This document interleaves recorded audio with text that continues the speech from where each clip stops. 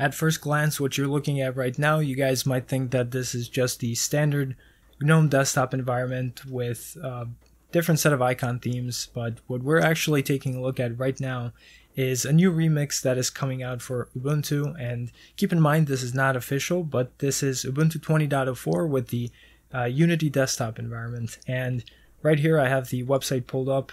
Uh, this is where you guys can grab a hold of the ISO if you'd like, and there's also more information about the new release and the bug fixes and comments. So if you would like to take a look at that, as always, I'm going to provide the link in the description. So when it comes to this, this is very exciting actually. Uh, when I found out about this uh, recently, I was pretty stoked to check it out because uh, I really liked Unity back when I used it. Uh, and in, in, fact, the first distro and environment that I used uh, was, I believe, Ubuntu 12.04 or something like that, and it was with Unity. I didn't use it for very often, but I really enjoyed using it. And um, when I came back to Linux, uh, I saw that it was using GNOME, and it just it was missing features that uh, I really miss from Unity. So we're gonna take a look at um, what it has to offer and all that type of stuff. So as you can see, it has the um, typical layout that we're used to seeing, but when it comes to the shell, this is one thing that I really like about Unity and that I personally prefer um, over GNOME, for example, is that uh, when it comes to the to the shell theme everything is so much more condensed and compact and it really makes use of screen estate. Uh, I'm not using a big resolution, it's 1366 by 768, so I would prefer something more compact.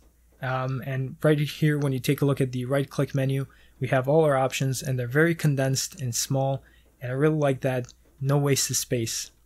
Um, also, keep in mind, um, this isn't exactly a one-to-one experience uh, with the previous Unity, uh, but I'll show you guys how to make it look um, more like the original because right now, if we open up uh, the file manager, for example, you can see that it has a more modern look uh, when it comes to the icon themes, uh, when it comes to the new Yaru theme that has been presented uh, recently with the new release.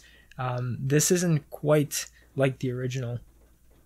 But one thing that's really cool um, is that if you maximize your window, just like with the original Unity, you can see that your um, your title bar buttons uh, to exit, maximize, minimize are here at the top left. I really like that because it really, uh, like I said, makes use of uh, screen estate and it doesn't uh, waste any of that. And when it comes to Firefox, if we do the same thing, uh, you can see that. Um, it's just the one thing that seems to be missing, and I'm not sure why. Um, I was testing this out earlier. I'm pretty sure that I saw it, um, but that is the global menu. For some reason, the global menu is missing, uh, but that would be that would basically complete everything, in my opinion, if the global menu is added. So there are some settings here. Uh, if we go to the settings, uh, what we'll be presented with are the standard uh, GNOME settings. Here you have your options just like in the latest release. But really what we want to take a look at are the Unity settings.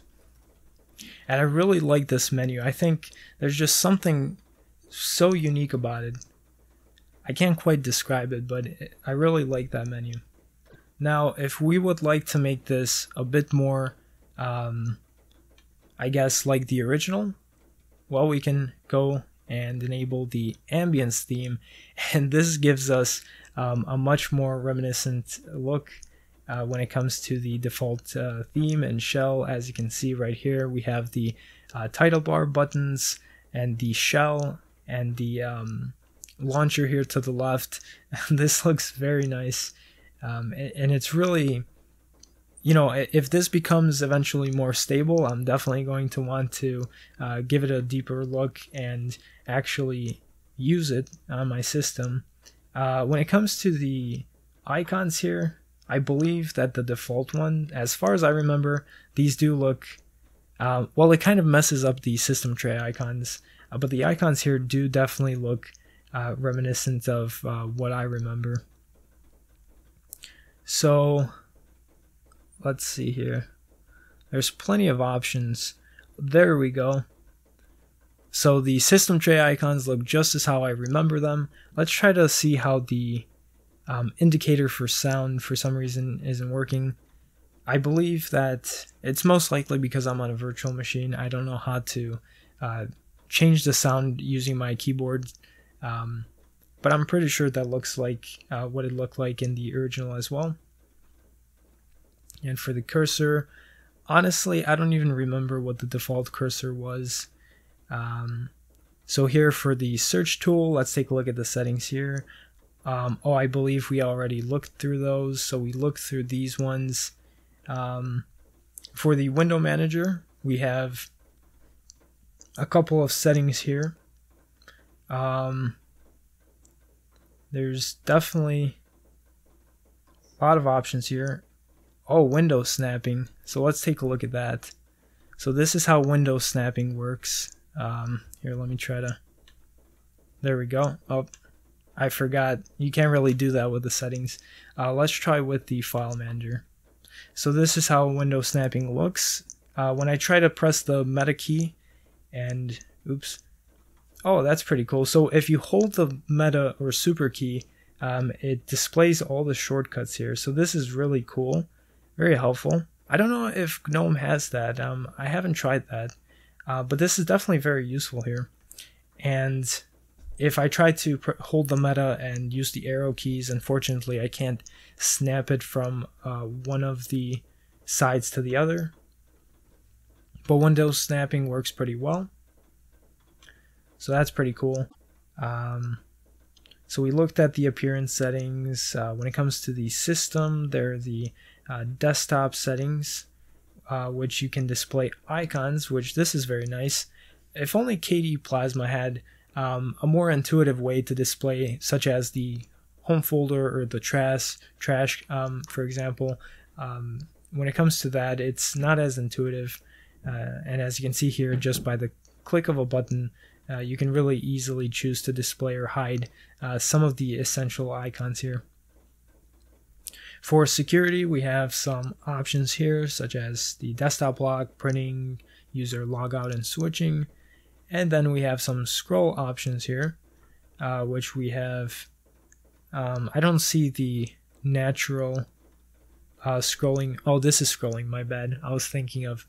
Oh, wait, no, the natural settings um, also has to do with scrolling. Let's take a look at the. Um, standard settings here one more time.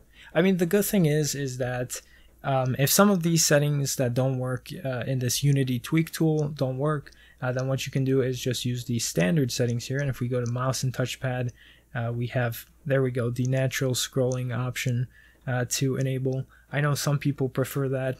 To me, it personally doesn't make sense, but um, yeah. And one other thing is because the title bar buttons are um, right here on the left side. Uh, when it comes to certain applications like the settings, it does look kind of off, but I'm pretty sure that's not that big of a deal. Now, one thing that I'm not really seeing is, uh, and let's try to search for it, global menu. Uh, it appears in the Ubuntu software, which is kind of surprising. Uh, let's take a look and see what that has to offer. Um, but that is odd. I do believe the calculator is also installed, so if we open that, this is how it looks. Um, okay, so it didn't really take me anywhere. That's fine. I'm not going to be installing anything. Let's try one more time, see if maybe we can open up Firefox one more time, see if that has the global menu. Um, that really does suck because um, while it's nice to have the title bar merge with the panel, uh, I think that also having a global menu as an option as well um, definitely makes the experience more complete. So let's open up maybe LibreOffice Writer. Maybe it's just a glitch with Firefox. Um, there we go. So I know that the file manager doesn't really have a global menu, and Firefox tends to glitch up uh, sometimes when it comes to the global menu. At least it does on uh, KDE Plasma when I have the um, global menu enabled. Sometimes it glitches up, uh, but we do have the global en- menu working completely fine. Let's open up a new text document. There we go. The settings work. We can go to help about LibreOffice and it's opening up just as expected. So that's pretty nice. Um, I definitely prefer having the global menu merged with the panel as well as the title bar buttons uh, because again as you can see it saves up a lot of space. And uh, when it comes to the launcher here you can of course auto hide that. Hopefully in the next uh, release let's go back to the launcher try that again. Uh, but by the looks of it it doesn't matter which way I have the setting enabled. It just doesn't want to respect the setting. Um, but like I said, you can always take a look at the settings, the GNOME settings, and um, perhaps, let's see, it was it under appearance? Auto hide the dock. Let's try this. it still doesn't want to do anything. Okay. So I suppose if you want to use this as a daily driver, you're going to have to wait. Um, unfortunately, there are a bunch of stuff that aren't completely working as of yet, um, but that's why we're going to have to wait a little bit. Um, but this definitely looks promising, definitely looks very nice. And um, this is, if it becomes more stable, I might actually just give this a chance. Um, these are some nice settings. And we have this. Oh, there we go. The launcher is finally changing. That's interesting. Actually, when I think about it, these settings right here, these settings are actually more so what I was used to seeing because again, I haven't used Unity in years. And I think this is what they look like. So let's go back is that it for the launcher? Launcher. Is there a way to hide it? Behavior, there we go. Ah, so it does work. That is really, really cool. Okay, so if you guys want to test this out, make sure that you look for these settings that I just clicked uh, because the previous ones are incomplete. Okay, so this renders my comments about all that um, completely useless. So I guess this is uh, most of the settings I'm assuming now uh, should work just fine.